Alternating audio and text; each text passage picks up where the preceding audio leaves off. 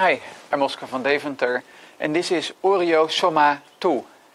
When I uh, presented the original Oreo Soma cube, uh, which was white in the middle and black at the outside, people complained that the Oreo cookie is black, white, black. So it's a three layer thing and it's not white in the middle and black at the outside.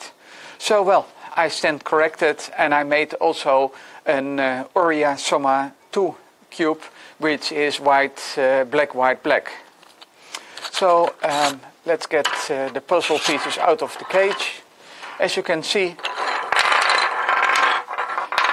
it is uh, like uh, all the Soma pieces are there, the V, the Z, the T, the L, etc., etc. And the object is to get them uh, uh, back together again.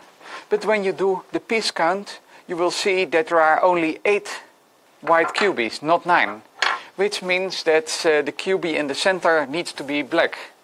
And this uh, adds to the challenge of the puzzle because there are many uh, pieces that can be in the middle and uh, can be black, but which is the one that goes into middle?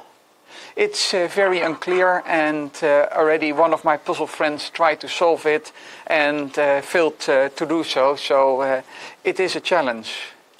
And my question to you is about the solving approach. Uh, now that you have seen the puzzle and the pieces, how would you go and solve this puzzle? Thank you for watching.